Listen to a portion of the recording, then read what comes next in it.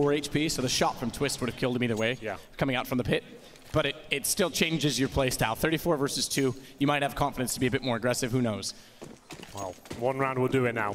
Three map points in the bag for Liquid on the T side of Inferno here. Still a tough task against the likes of SK Gaming, a very resilient side.